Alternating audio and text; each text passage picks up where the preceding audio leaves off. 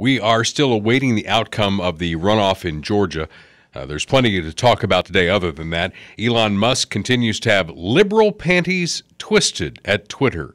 We'll track the latest on what's happening there. The next liberal cash drop will probably be in the form of reparations, at least that's what they're talking about, and yet another way to divide the country and cause further harm to the economically challenged in this country. We'll take a deep dive in a way that will be unpopular with some. I think most of our audience will get it. The truth hurts.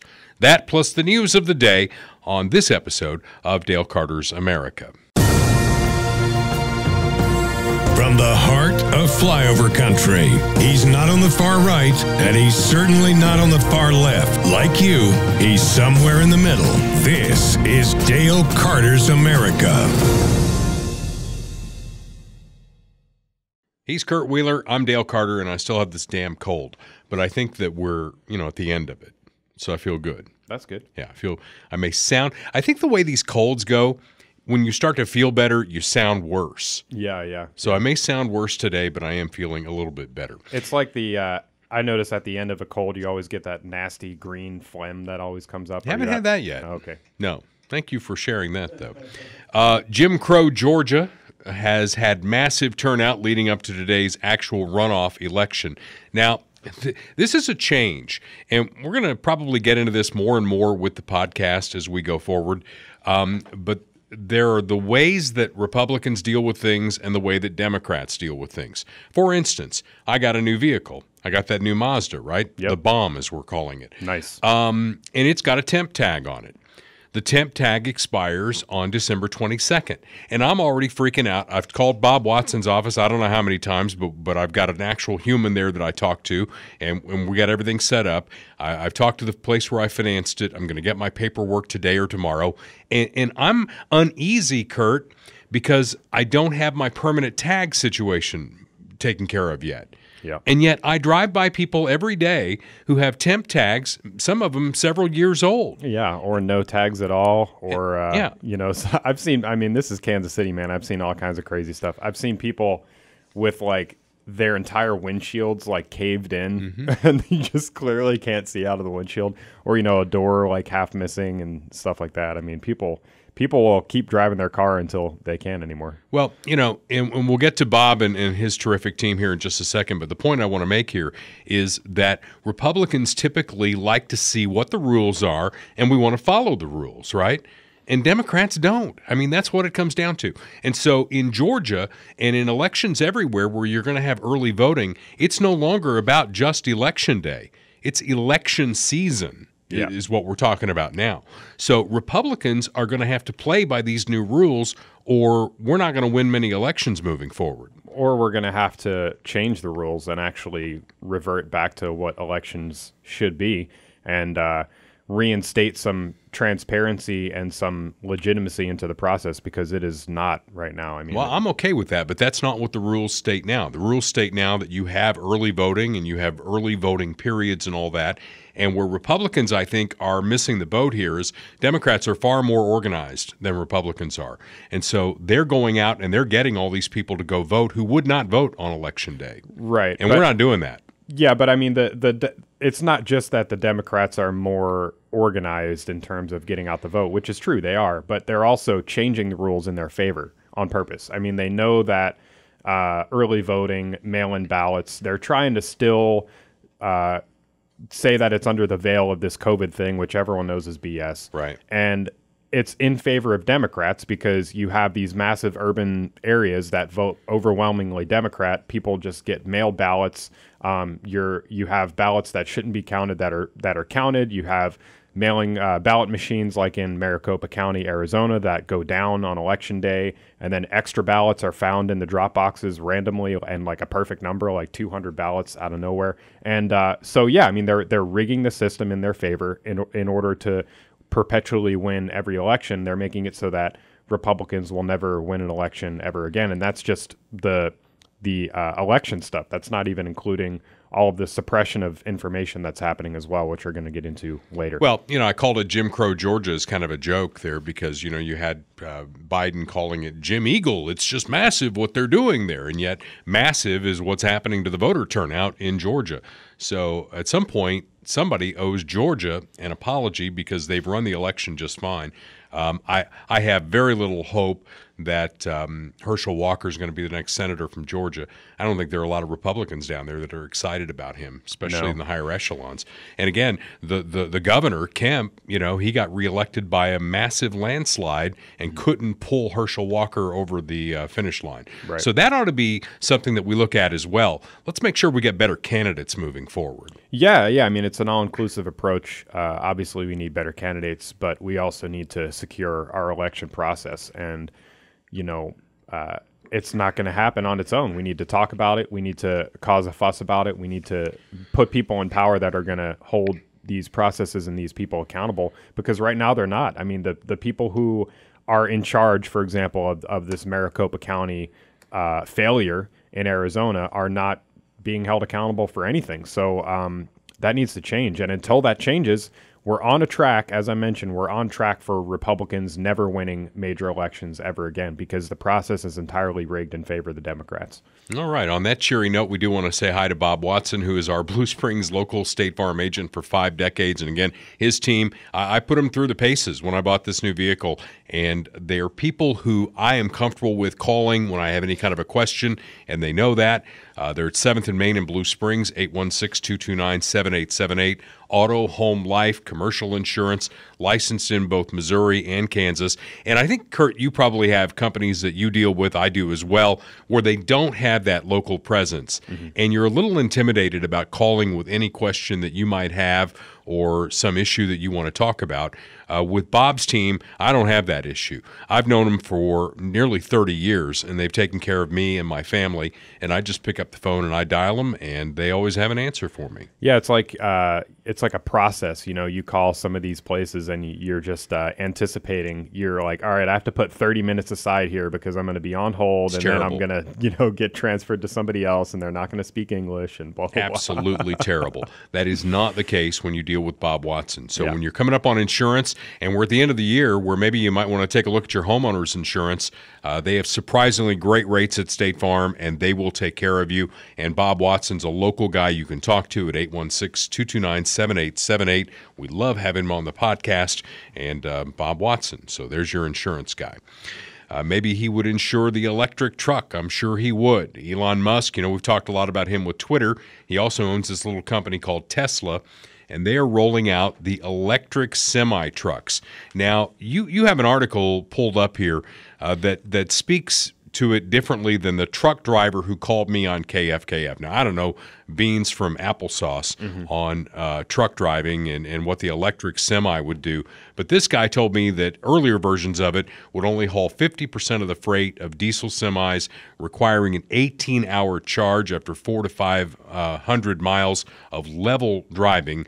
Not to mention all the other logistic questions they have about EVs. He said the 18 hour charge time uh, uh, violated their hours of uh, use that they're supposed to be out there on the roads. Right. Yeah. I mean, if you're a truck driver, uh, a big part of, and I'm not, you know, like like you, I have very little knowledge of the industry, but uh, I would imagine that your biggest factor is time, right? Because Right. you're trying to haul as mu- as much as you can in, you know, the amount of time that you have to work. And I know that depending on um, union rules or or rules of specific uh, contractors or companies, you know you're only allowed to drive so much per week because they don't want to create a situation where drivers are pushing themselves past the limit and you know not being capable of driving falling asleep behind the wheel things like that. So you actually have a maximum amount that you're allowed to work per week or per uh, trip or whatever however they measure it.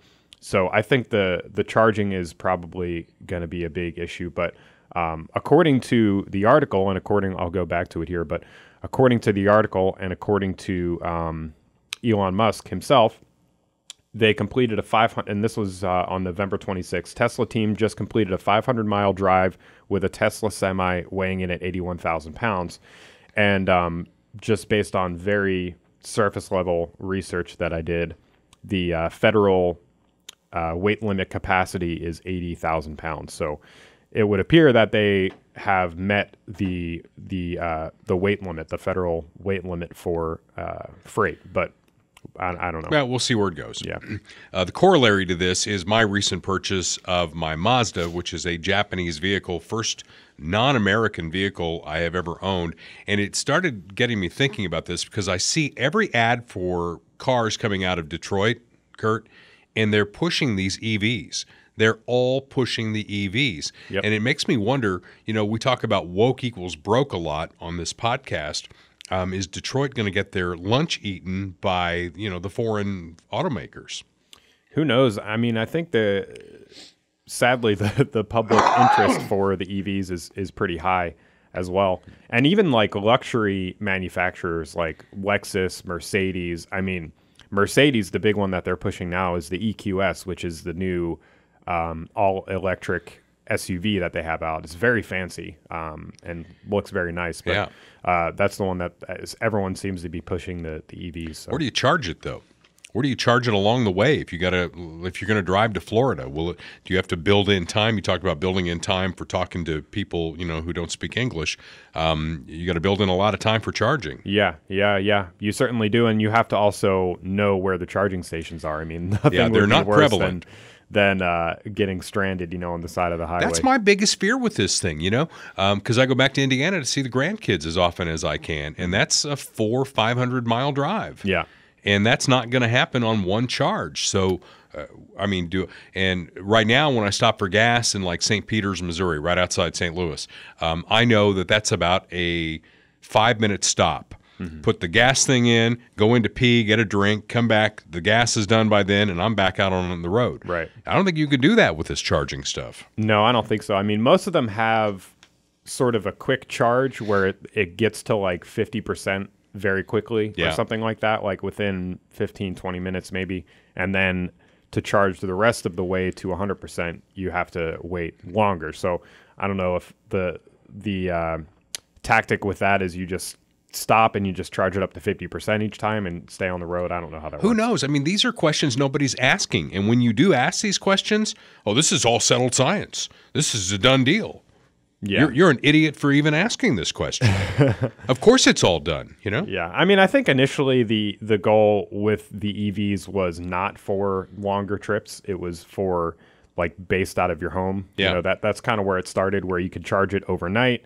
You know, you drive to work, you drive to the store, you know, you drive around town. You're plenty within the the max. Uh, range of the vehicle and then you come home and charge it at night so this new idea of like certain states you know promising that they're going fully electric by a certain year it's going to be a challenge for the uh, the power grid certainly, but then also just logistically because it's a different kind of driving. You're not just going around and coming back home. You're driving from point A to point B over a very long distance. And it's not free either. You know, we talked about that. I mean, you're charging it at home. I mean, it's adding to your electric bill on a grid that's powered by coal. I mean, we just keep talking about this thing over and over and over again. Right. And, uh, you know, we come to the same conclusion, I think.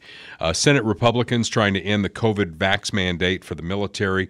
Given where recruitment is now, that seems like a very good idea. Update to that Kevin McCarthy says that in the uh, defense authorization bill, which again, that's using the power of the purse that the House of Representatives has and that is the weapon that they have in this two to one battle here, where the Senate is uh, going to lean Democrat either way this election goes in Georgia, and they've still got the White House.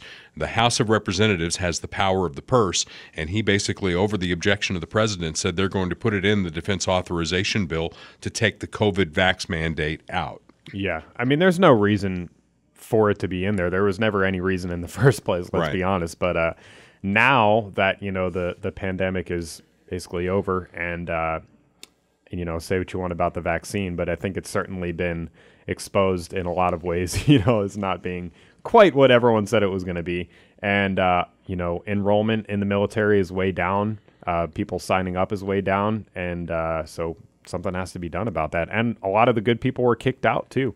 Those people should be paid back pay. Uh, they should be reinstated and given back pay, as far as I'm concerned, Well, I because hope that's I'm- just BS. I hope I'm wrong about China testing Joe Biden, which we talked about in the last episode. But if they do, this country might have to reinstate the draft. I don't know that we're going to have a big enough army Yeah. to deal with what's going on over in China. So hopefully not, but uh, that's something to keep an eye on. Uh, the next thing was the uh, Biden student loan forgiveness plan hit another roadblock in the Fifth Circuit. And while it's being run up the flagpole in court, here's the other thing to keep an eye on there are no payments being charged to anyone. Now, the the the forgiveness program, you know, uh, putting it on the rest of us um, is income uh, specific, right? There are income limits on it. Right. Um, but pausing the payments with no interest being charged is for everyone with a student loan right now. yes. My wife, in particular, she has a student loan. And she, she hasn't made too. a payment on it and I don't know how long. Yeah, me too. I haven't made a payment since who knows when. You know. I've almost forgotten about it to be honest. Well, I, doubt they've forgotten about it. Yeah. Uh, maybe you'd like them to forgive it at some point. Um, but, you know, again, that's going to be overreach on the part of the president. And I think when it gets to the Supreme Court, which is ultimately where this is going to ha- uh, go, um, especially with a 6 3 court, 5 4 if you take Roberts out of it, um, they're not going to uphold the president's ability to do this. Yeah. And he knows it. Yeah, I think the Supreme Court would probably uh, shut it down as well. So we'll see if it gets there. I mean, they're going to keep pushing it. They're going to challenge back and forth. It's going through these other courts. So it, it would seem like it's certainly headed in that direction. Supreme Court uh, hearing arguments on whether companies have to perform services for same sex couples despite their religious belief. This is interesting to me. You know, uh, we should pause here and talk about this for a little bit because I don't think it's black and white. I don't think it's it's as cut and dry here because a, a lot of the left they're they're trying to um, correlate it to um, you know the the the lunch counters uh, during the civil rights movement that you know only whites could be served here and not blacks. I don't think it's like that because this lady in particular, um, her business, she has worked with same-sex couples. What she is saying is you cannot compel her to do something creative to support something that she doesn't agree with. Yeah, I mean, you can't compel anyone to do anything. That's called slavery. If you if you compel somebody to create a product for you, that's slavery, literally. I mean, it's it's like the student loan thing. You you're compelling people to pay for your student loans. You're you can't you you can make something, you know, you can have a right to something, but you don't have a right to demand something from somebody else.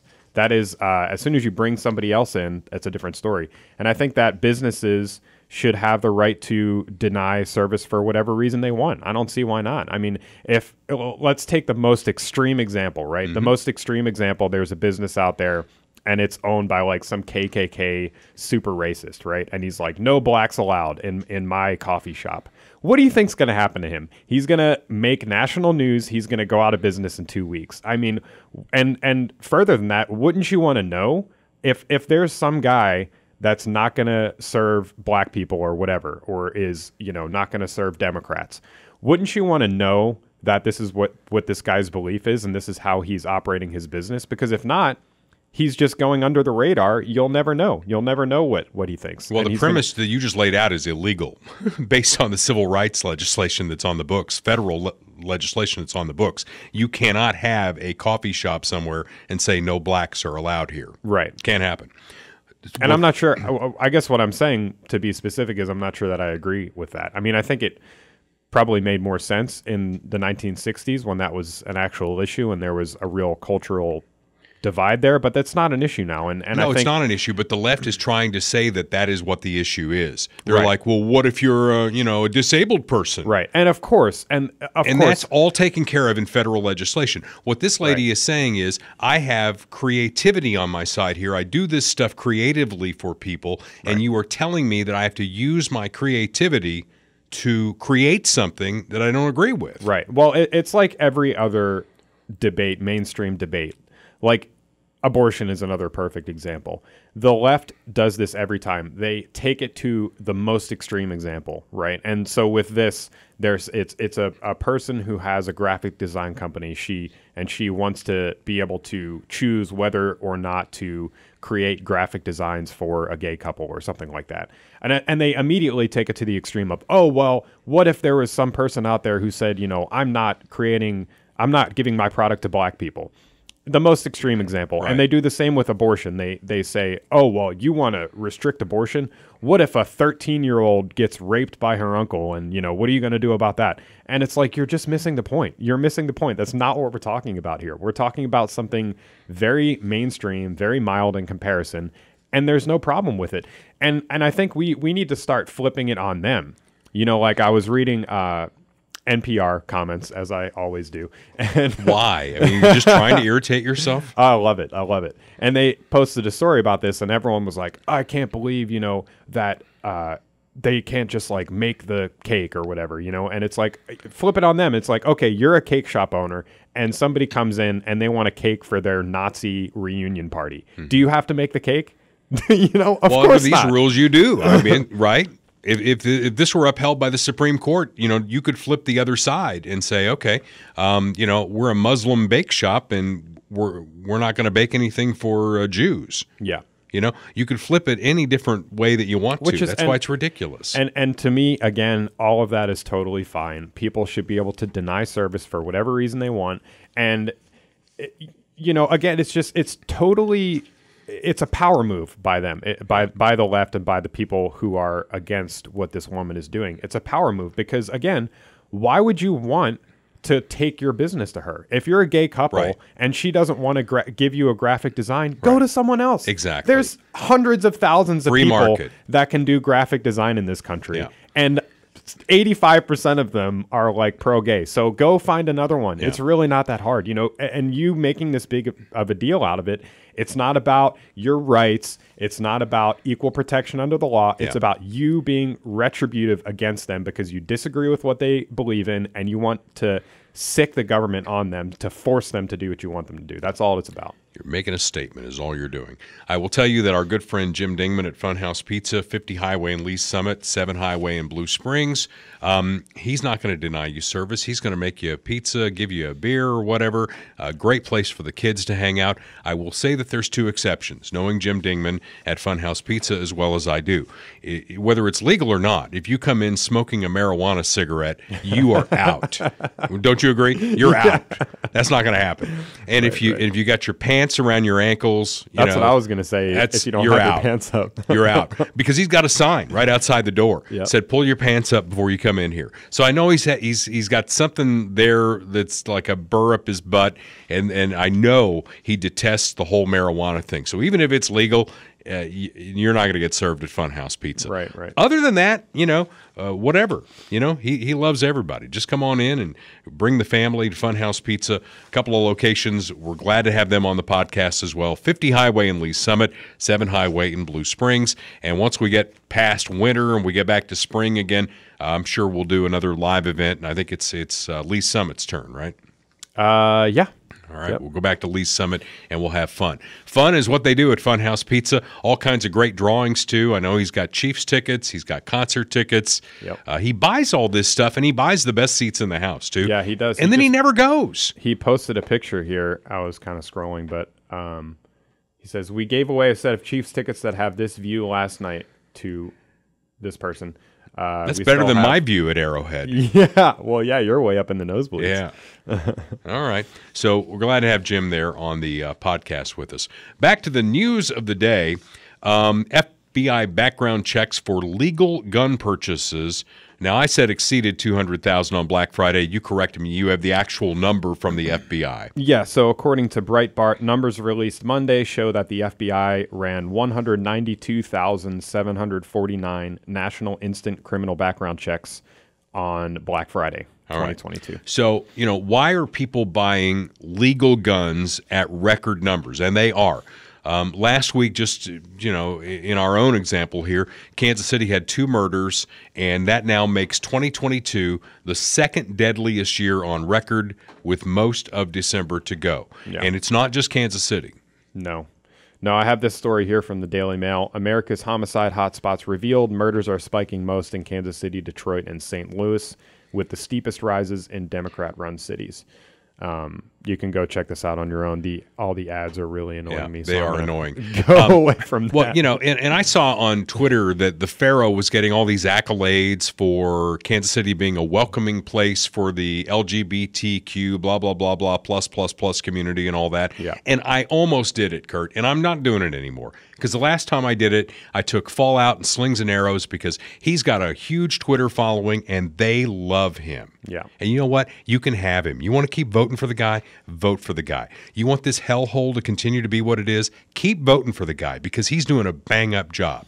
Um, you know, I wanted to say, what about the fact that it's our second largest or second biggest year for murder in Kansas City? But I knew that I would be attacked after that. But that's the reality. I've actually posted uh, crime statistics uh, from the podcast page to in, uh, on some of his posts, and it's just radio silence because there's no comeback from that. I mean, what are you supposed to say? Like, oh, that's not right. That's like fake news. Yeah, Like, that's fake obviously, news. you know, like they, they have no answer for it. So, um, but yeah, I mean, I totally get the uh, having to bite your tongue on Facebook Yeah. or Twitter. Oh, I mean, I, do because it's do like it God damn. I mean, do you really want to deal with it? Do you want to deal with the times a day. fallout from all of it? I just, Yeah. it just gets so tiring and so old, and especially after the last election that we had. They voted for Frank White again for Jackson County. Good Hmm. luck to you. I mean, you know, they, they voted for Emanuel Cleaver again.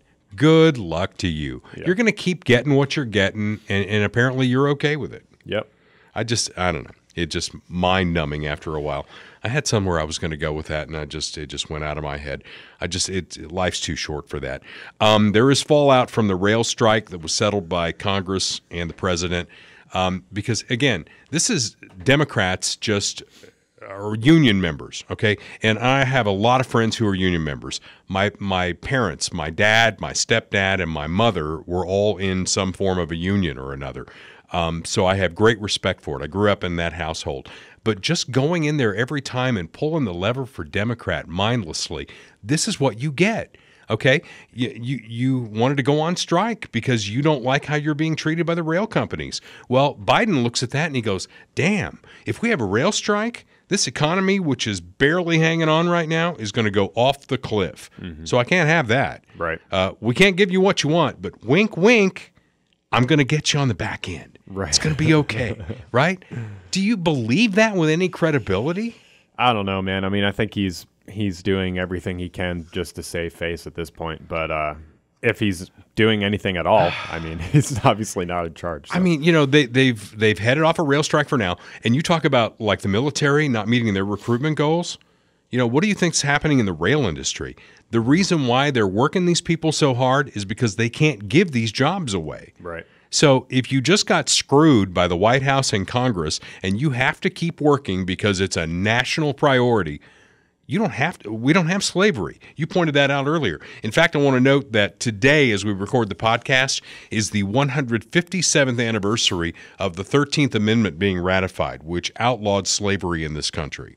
So we don't have slavery in this country. Um, you don't have to work for the railroad, yet that's where we are on the rail strike. You talk about saving face. How about Hakeem Jeffries? He is going to be the next House Minority Leader. The worst thing that you can be, according to the Democrats, is an election denier, unless, of course, you're a Democrat. Uh, because Hakeem Jeffries, um, there are tweets, and, and that's the thing on these people. They, they don't understand it or they don't care. They know you don't care because you just keep voting for them mindlessly.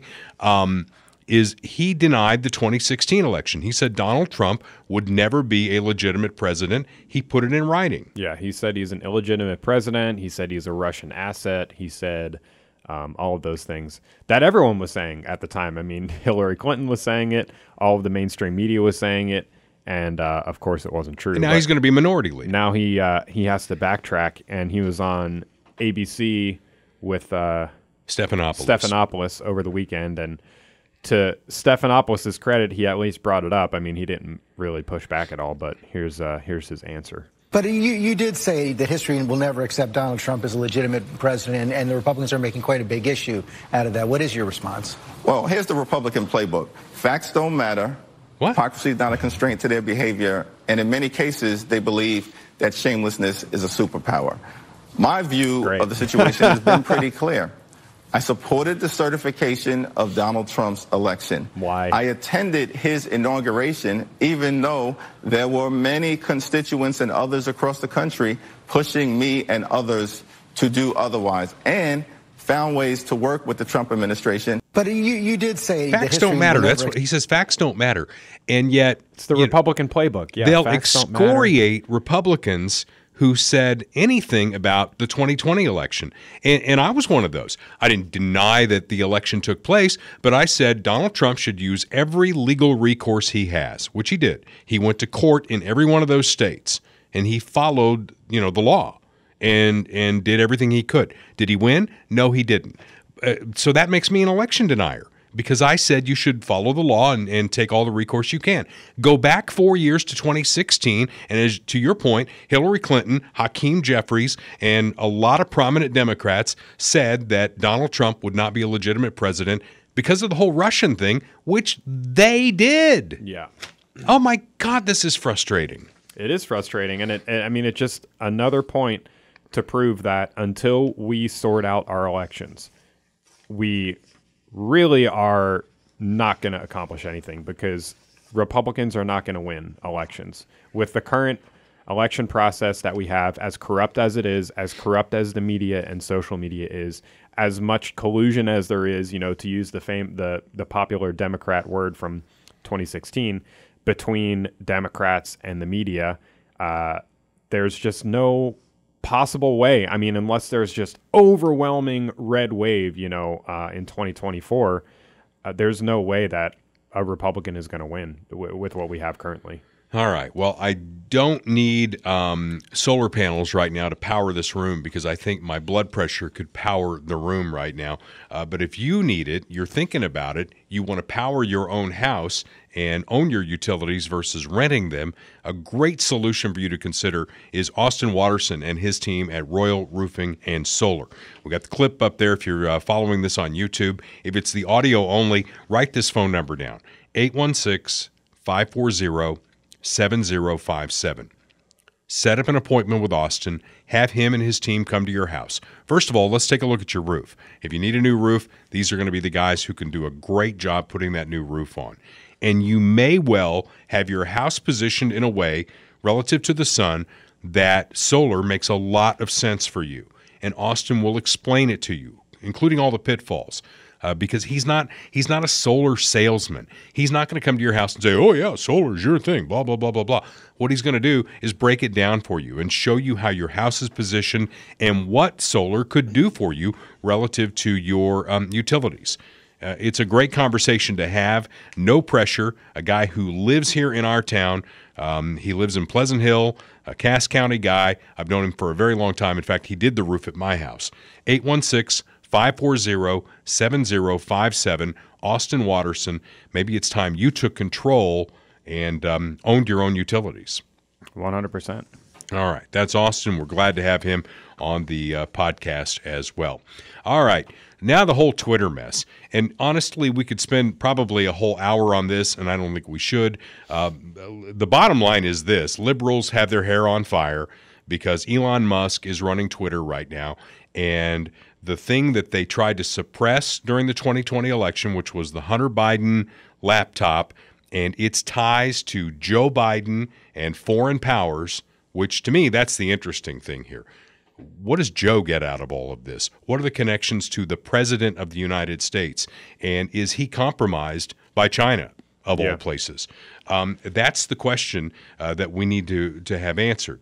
Um, and, and I don't know that, that this is all going to answer it, but but certainly it's all out there, right?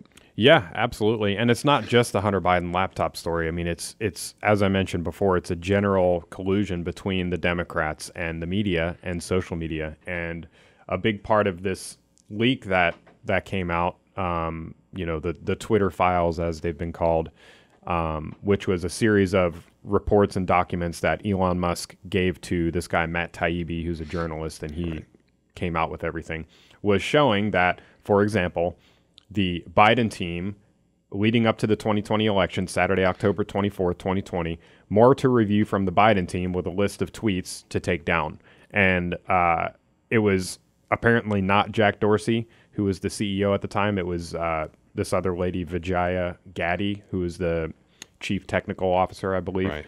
And uh, so there was all of this effort. You can read through this on your own. Please do, because it's too much to read on the podcast. But um, there was all this effort in order to influence the election, take down the Hunter Biden story, uh, suppress people like Kayleigh McEnany who were tweeting about it, and uh, you know restrict their accounts.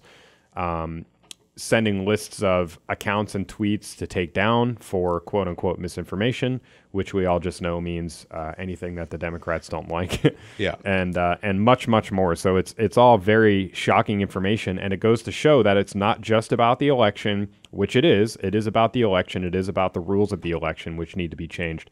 But it's also about the leftist control over the media, over the narrative, over the culture, and that obviously has ramifications. It's it's obviously going to trickle down into politics where you have people who are playing favorites, suppressing certain information, boosting other information in order to uh, you know protect their their political Well, allies. some of the interesting things that came out of this, um, they said both sides were doing it. That um, the Trump campaign requested certain things be taken down, and the Biden campaign requested things taken down. But the culture at Twitter was so one sided that it was a lot easier for the Biden campaign to get things done than the Trump campaign to get things done. Right. Right. Yeah, and you can look here. I mean, this was a, a reply to sort of this whole thing. You can see employee donations to midterm candidates by party, and it breaks down all of these big uh, tech companies. I see a lot of blue. You see a lot of blue. I mean, Netflix is at the top, 99.6% of donations to Democrats in the midterm election. Twitter, 98.7. Uh, Airbnb 97.8, Apple 97.5, and you go down Facebook 94.5, Tesla 93.9, uh, and the lowest one that they have on the list here is Oracle at 66.1. Obviously, these are not all the big tech companies in the country, but it goes to show. I mean, a lot of these are very major companies. Twitter, in particular, which is what we're talking about right now, uh, they are obviously biased, and they're obviously, you know, they have the power to restrict whatever accounts they want. We know that they're not applying the rules le- uh, evenly, you know, uh, in in terms of who they're banning for Right. for what speech. Um, because they'll ban, you know, somebody for misgendering somebody, but then they won't ban somebody for making death threat death threats against conservatives, or you know, they'll leave up uh, Al Qaeda and um, all kinds of stuff like that. So it's obviously not uh, even handed. Well, and the interesting thing as well is that um, Elon Musk, who was a darling to the liberals, kind of like Donald Trump was a darling to the liberals until you know he crossed them. Right. It's like you cross me and you're, you're going to get it. Um, and now Elon Musk, it's like they, they are calling him names that are just. Uh, pull that slide up and, and read that slide. Yeah. So uh, if you're watching on YouTube, here's a picture of Matt Taibbi, the the guy. So again, Elon had the files uh, from Twitter, the internal communications and things like that, and then he gave them over to this guy Matt Taibbi to release them, basically. And uh, we have all of these really great responses, but this one in particular from a blue check mark.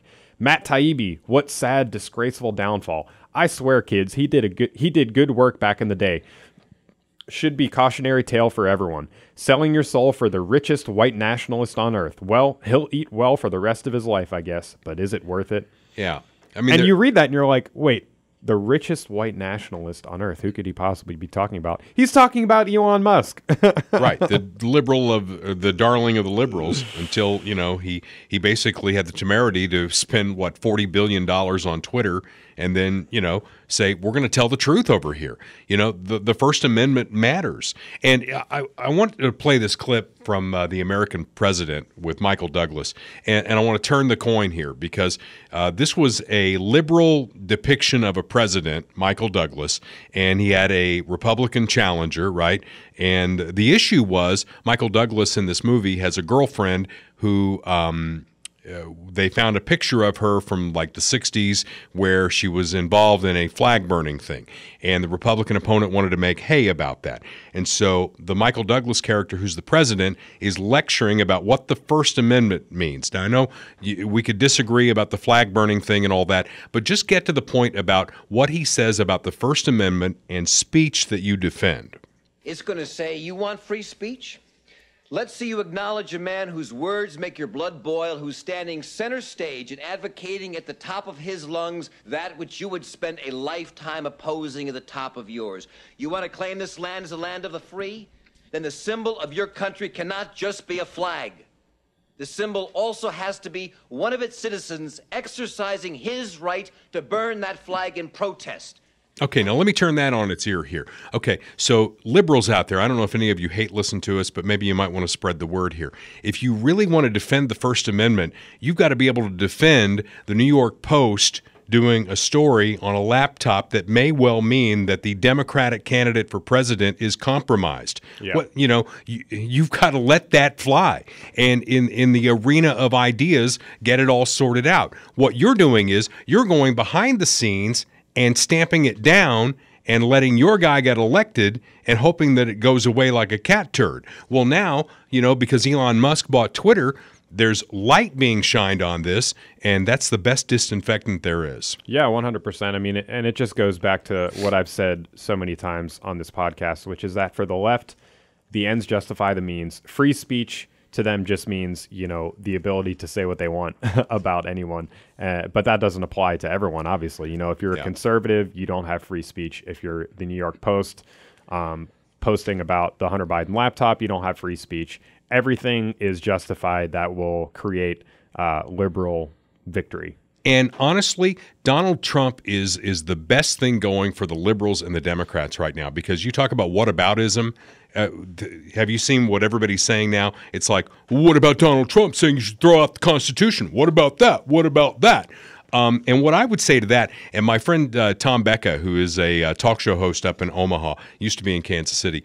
He made that point on Facebook today. And I, again, I almost went there to say what I'm going to say on the podcast, and I didn't because I didn't want to deal with uh, slings and arrows from liberals all day long. I've got a real life and things that I like to get done. Uh, but what I'll say on the podcast is I think what you're seeing is a softening of support from Donald Trump. If you looked at it on a scale, okay, you've got the far left and you've got the far right. Let's say the far right are the Donald Trump uh, against anybody out there, okay? He's my guy no matter who he runs against. And you've got this side that says never Donald Trump.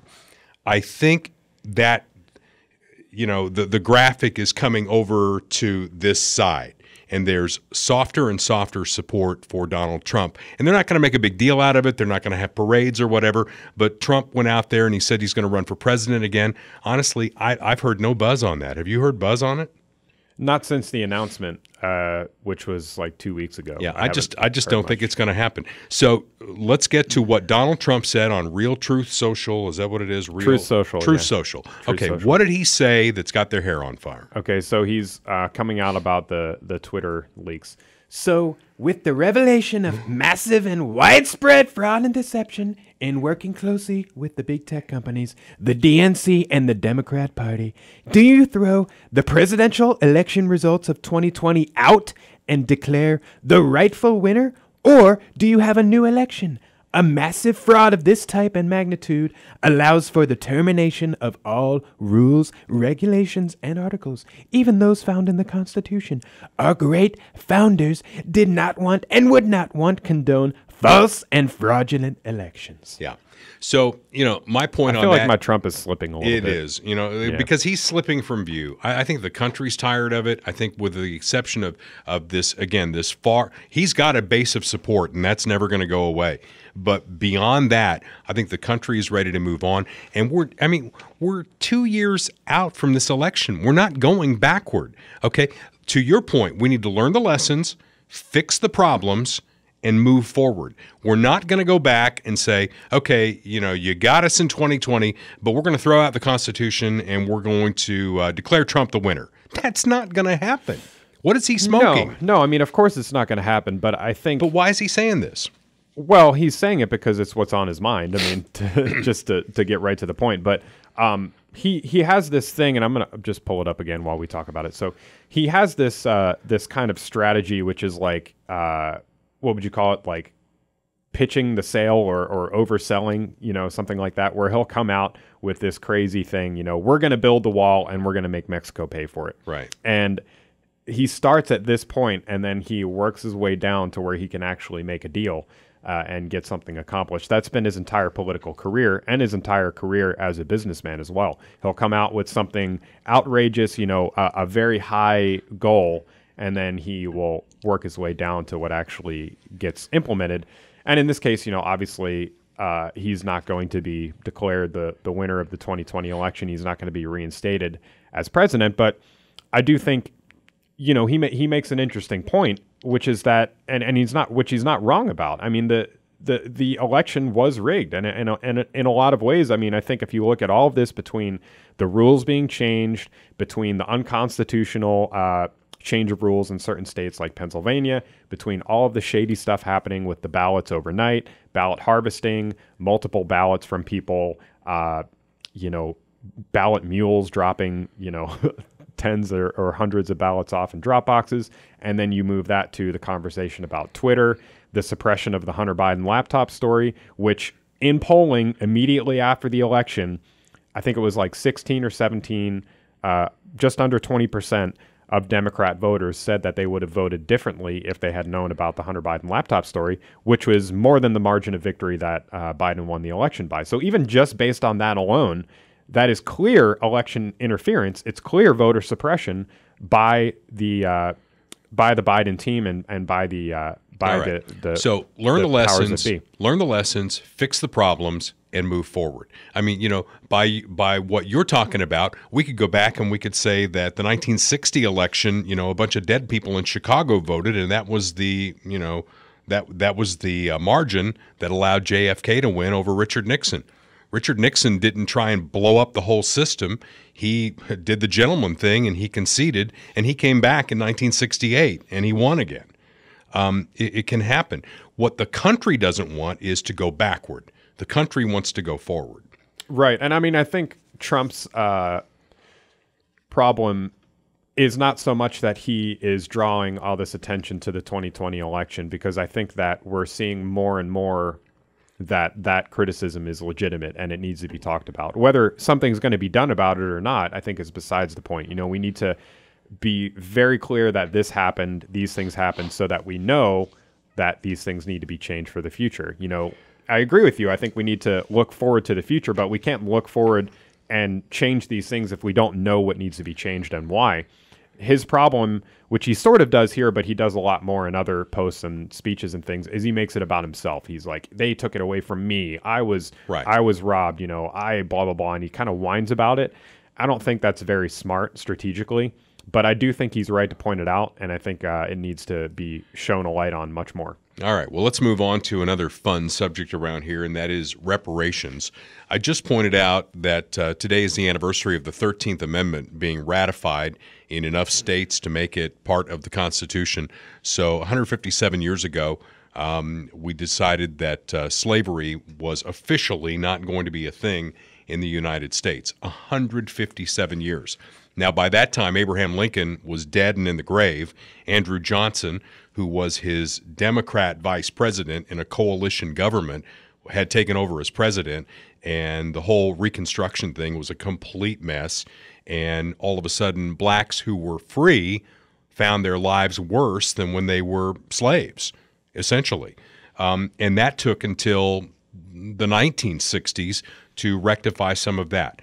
So California has a task force. And by the way, the Pharaoh here in Kansas City is on board with all this too, as well. Oh, I'm sure. Oh, yeah. Um, that Cal- uh, black Californian descendants of slaves are owed $220,000 per person. And given the black population of California, that comes in at $569 billion with a B. A lot of money. Yeah. No idea where it's going to come from.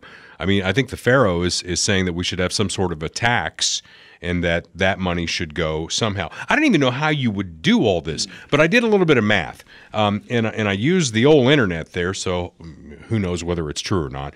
But the fact, the figures I came up with: forty-six point eight million Americans identify as black. You got it's identify. Not, it's not. Uh, that's exactly how it was put too. Identify as black. Okay. Well, shit. If we're getting reparations, maybe I identify as black too. I'll go. I'll do a DNA test. I've got like you know, probably 0.3% somewhere. Yeah. 41% of the 46.8 million trace their lineage back to slaves. I guess we take their word for it. Yeah, I, I mean, I, I don't know, but 41%. Okay, so 223,000 per comes out to $4.27 trillion. dollars Now, my calculator wouldn't go that far, but I think that's the right number. Okay, so I have three questions. Why would we do this? How would we do this? And will it ever be enough? No, no, and no. Well, why would we do this? Um, I, I, I just don't know. I mean, you know, th- there are some people out there saying that you know because um, uh, housing restrictions and covenants were put in place. In fact, uh, the first house I ever bought in Indiana uh, was in a near downtown area, and it was built in the 1920s, and it had in its title a covenant that said it could not be sold to African Americans. Now that was changed with civil rights actions in the 1960s, but you know in the 1920s when they built the house, that was in the title that you can't sell it to African Americans. Um, and there are those who say that because of those restrictions in housing and other things, that you know we owe them something. And do you agree with that? Absolutely not.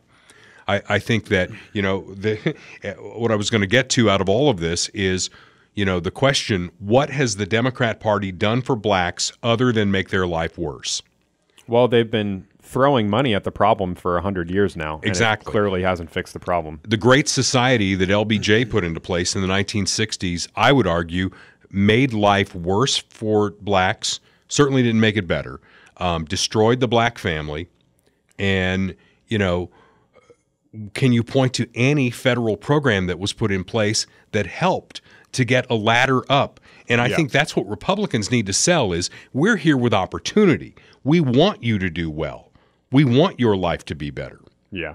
It's it's the inconvenient truth of this whole thing. And and we can talk about why it's a stupid idea. We can talk about why grievance politics is wrong and it is. And we've talked about it many times. And we can talk about all of these other theoretical sort of political things, but the sad truth of it is I think the bottom line is that if we were to actually do this and we were to give, you know, whatever it is, $200,000 to every individual, would it really change anything? Would, would these people really Well, you know what it would with do? some exceptions, I'm sure many would, but Yeah. you know, would, would people who are really struggling, who have who have been given all of this welfare already, Yeah. and have not gotten out of the hood? I mean, are they really going to do anything different? I, I don't believe that they will, and that's maybe that's cynical on my part, but I don't think it's really going to. I think you have the election to back you up because, again, Emanuel Cleaver overwhelmingly voted in by the 5th District of Missouri. Yeah. Frank White overwhelmingly elected as the county executive of Jackson County. The, apparently, there's not enough people out there that say, hey, maybe we ought to try something different after all these years. yeah. Uh, th- there's just not. And then, it, of course, I mean, it's just it's a stupid idea to begin with. It's it's purely race baiting. I mean, it's going to divide the country f- far more than it already is, which is a lot. Um, and then you know you have the the logistical quandary of who pays for it to whom. Uh, where does the money come from and all this stuff? I mean, Barack Obama is the perfect example. Barack Obama is a black American, but he's not descendant from slaves. His his uh, his dad is Kenyan, Right. uh, and his mom is white. And on his mom's side, if you go back far enough, I think his great great great grandfather on his white mom's side was a slave owner. So Barack Obama, the first American black president, is he going to owe reparations? Because if you actually follow his lineage, he comes from a slave own own- uh, slave owning family. So should he pay reparations or should he receive reparations? Well, and you just mentioned that for some people, two hundred twenty-seven bucks or two hundred twenty-seven thousand dollars, two hundred twenty-three thousand dollars would would make a big difference. If you add another four point two seven trillion dollars in funny money to this economy, what's that going to do to inflation? That's already staggering. Right. So th- there's no reason to do it unless you're invested in keeping black communities down. Here's the unpopular thing I'm going to say here in certain quarters. See Sharpton and Jackson. They are invested in keeping black people exactly where they are. Yeah, they're invested in keeping uh, the black vote as a uh, as like a toy that they can y- manipulate and use. Take it for granted. They use the they use and this is unpopular too, but uh, the the left broadly speaking, again, I'm I'm painting with broad brushes here, but they see the black population as essentially like toys or pets that they can manipulate because they are like, oh yeah, you're so uh, you're so oppressed and there's nothing you can do about it and only we can help you. Only we can give you the money you know from the government that you need. You can't control anything on your own. There it's the the soft bigotry of low expectations. They're perpetuating this idea that everything is because of slavery everything is because of the evil white man and you can't do anything on your own you can't improve your own lot in life and even if you're a drug addicted single mother with three jobs, it's not your fault. It's because you know society is against you, and here, take this two hundred thousand dollars and keep voting for Democrats for the rest of your life. That's what it's about. Well, what are Republicans going to do? Here, I mean, I, I, would give you some examples of what Republicans could do. Fix crime for one thing. Mm-hmm. If I lived in a black community, I would be on the phone to the mayor every day. What are you doing about crime? Mm-hmm and you know they're they're going to interview a new police chief this Saturday. There's three candidates for it. Uh, one comes from the New Jersey State Police. One comes from Philadelphia, your hometown, right? Mm-hmm. Uh, and one is with the Kansas City Police Department right now. I'd rule that guy out because it's been yeah. a complete disaster. Right. I'd bring in somebody new, and then well, I want to know Philly's not doing great either. So uh, what are you going to do about crime? What are you because that is one of the things that's holding back these communities. Mm-hmm. What are you going to do for economic uh, advancement here? And you know, uh, Tim Scott out of South Carolina uh, had some great ideas for how to do that. Enterprise zones. Who's talking about enterprise zones? They're not. I mean, they're they're saying, you know, elect us, we'll give you more money, we'll give you this check, and yada yada yada, and your life will be great. And it's not. And yet they keep voting for the same damn people. Yeah, it's because it's very hard to pitch an alternative, you know, and uh, and I talk to people about this all the time, and, and it's like, how do you sell somebody that there's nothing you can do for them?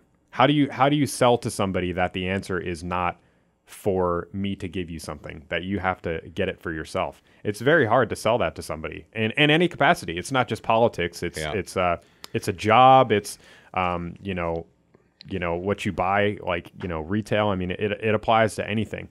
You have to sell people that they have ownership and responsibility over their own success in life, and there's nothing you can do about it.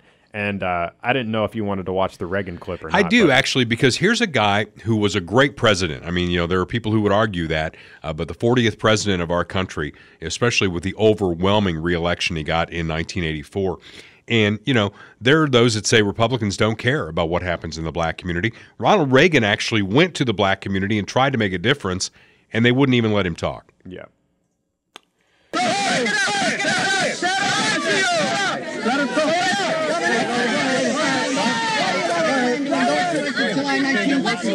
This is in 1980 uh, in the campaign, so he's not president yet. Okay.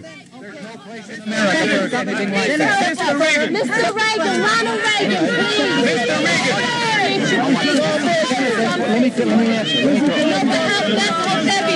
So this clip goes on for 20 minutes, but he's so he's in the South Bronx, and in the beginning, somewhere in the beginning of the clip, they show like him driving through the South Bronx, yeah. and it's just like yeah, like here, it's just like completely decrepit, completely broken down yeah. to turn off the sound. And he goes to talk to these people and they don't want to hear what he has to say. I mean, they're shouting him down for literally 20 straight minutes. He's trying to go present his platform and they're like, "What are you going to do for me? What are you going to do for me?" shouting at him, you know? And and finally he kind of breaks. If you watch the whole thing towards the end, he there's one woman in particular that keeps shouting at him, and he kind of breaks and he's like, "I'm trying to tell you, I'm trying to tell." Right. You. And then CBS, uh, I think it was CBS, maybe ABC, they ran a one minute story in 1980. They ran a one minute story on this, and they clip out that one section of him yelling at the lady, and that that's what they play. And so the broader point here that I think is relevant is that you know you can only help people if they want to be helped. Uh, if they're going to accept the message that you're trying to give them. And if they're not, then I mean, b- what are you supposed to do? I mean, yeah. I, I, think there's something that has to be done. I mean, obviously, Republicans need to be much better at messaging um, towards the inner cities in particular, but it's a very tall task, and, and somebody's got to figure out a well, way to do it. It's easier to get goodies from the government than it is to, as you said, have responsibility. And, you know, big part of Reagan's platform was cutting tax rates so that taxpayers, the people who fund all this, could keep more of their money and reinvest it in the economy. And, you know, people like Biden will say, well, it's been debunked, trickle down economics. It doesn't work, doesn't work. Um, so th- this is really the big divide in this country. If we get past all the other crap out there, the big divide in this country is what is the role of the federal government? Is the role of the federal government to basically fleece as many people who want to work for a living for their tax money so that it can be redistributed in ways that will never affect this country in a positive way? That's the Democrat way. The Republican way is let's cut taxes, let's cut the size of government, and let's build up our communities on the private sector side because that's what wins. That's what turns communities like what you're seeing on there into flourishing communities rather than the hellholes that we have. Yeah. It's a tall order. Tall order. And you know it's it's a tough sell, but at some point we're going to have to do it, or we're going to continue to com- to fall as a country. And I hate to see that. I really mm-hmm. do. Yep. And Bob Watson hates to see it too. And that's why he talks to us a lot about what we're doing here on the podcast. Because even a guy who has been around for five decades serving folks in Blue Springs and the greater Kansas City metro area with insurance for five decades, even a guy like Bob Watson still cares about the future of this country. He's got kids, he's got grandkids, as I do. And you want to see the country do well because you want them to do well. And that's why Bob's a great guy to carry your insurance. Whether it's your car, your home, your life, your commercial insurance, if you've got a business, Bob Watson's the guy. And State Farm has surprisingly great rates. Check him out at 816 229 7878. 816 229 7878. He's at 7th and Main in Blue Springs. He's licensed in both states and can help you with all of your insurance needs. And again, he has a fantastic team. Uh, Terry Drummond on his team has held my hand through the purchase of this new vehicle, and they'll do the same thing for you. You have any question, regardless of what it is about insurance. In fact, um, I ran the purchase by Bob before I did it, Kurt, and and he was telling me how great that car does. And if you if you want to get something that's going to be safe for your family, trust me, your State Farm agent like Bob Watson knows what the safe cars are out there. In fact, I think he told me his daughter has one. So check it out. If you need insurance, great time to check your homeowner's policy and uh, maybe get a better rate at State Farm, 816 229 7878. We will leave you with this. This country, it's all about get rich quick, right? Anybody can sue anybody for anything. Have I told you the story, Kurt, about what happened to me when I was 16? Uh, depends on which story Uh, about well, when you were the one where I almost died. Uh, I'm not sure. Okay. So I'm 16 and I hurt my knee playing sports. And I also had a cold at the time, much like I have today. So I go to my doctor and he prescribes something that now you can get over the counter, but back then you had to get with a prescription. Either his handwriting was bad or the pharmacist got something wrong. So instead of cold medication, they gave me um, blood pressure pills. And instead of taking the blood pressure medication one time per day, as you would for that, and I didn't need it then, um, they had it down for four times a day. So I'm taking this stuff four times a day. It's not helping my cold, but it damn near killed me. You know, uh, we only had one bathroom in our house. I remember I lived in the basement. So here I am going to go to the bathroom in the middle of the night. I hobble up the steps because my knee is blown, right? I get to the bathroom, do what I got to do, turn around, and I passed out. Had a near death experience. I could see the whole scene unfolding from above, right? That's weird. Yeah. And my parents rushed me to the hospital, and uh, my stepfather was a policeman. So um, the um, FOP attorney was there. My doctor came in, and man, you talk about somebody with no color. That was my doctor. Uh, they revived me, and, and I, I lived. And the story, the reason I bring that up is because the FOP attorney told my stepfather, well, if he died, maybe you might have a case. Can you imagine that happening today? No, no, you'd get sued right away. Exactly. okay, so from the people who brought you suing Kraft macaroni and cheese because they say it takes longer to make than the package suggests, that is a true court case right now. There is a federal court taking TGI Fridays off of a lawsuit filed because their mozzarella sticks are actually made with cheddar cheese. Now, why is TGI Fridays getting off this multi million dollar lawsuit? They don't make them. Because yeah, they just have them. Freeze, just sell 'em. freeze freezer packed, and then That's it. So the suit will continue against Inventure Foods, the maker of the cheese sticks. That goes forward. So it's possible that somebody's going to get a real big payday because TGI Fridays mozzarella sticks are not really made out of mozzarella. So look very closely at all of the uh, the labels and the ingredients on everything that is called something like mozzarella Exactly. sticks. So- you may get a big payday yourself. The advice as we leave you on this episode of Dale Carter's America, you can either work hard, live on less than you make, and save for retirement earlier than you ever thought you needed to, or you can find a really good lawsuit and sue the shit out of somebody and make a lot of money. Your choice. Or you could buy Powerball tickets. Whatever works for you. Until next week, this is Dale Carter's America.